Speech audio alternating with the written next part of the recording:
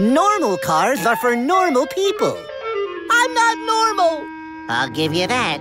If you want to go after um, a, a, classic voice or an impression or even a sound alike, you've got to listen to and soak in the source material. And then the important part is that you're not just replicating it, but you're generating a character. You're not just photocopying it, but you're making a three dimensional living thing.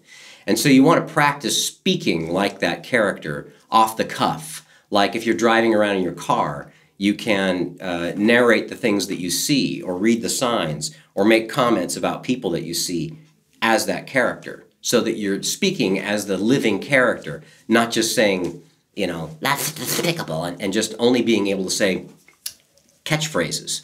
It's, it's about generating a character, and so you practice it that way. The hardest thing is new dialogue.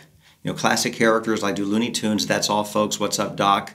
Um, it's knowing the personality behind the voice. So um, I remember when we auditioned for Space Jam, they made us do Hamlet because they figured anybody could say, That's all, folks. but if you can say, To be or in, in, in, in, in, in, in the other, the other, it'll be.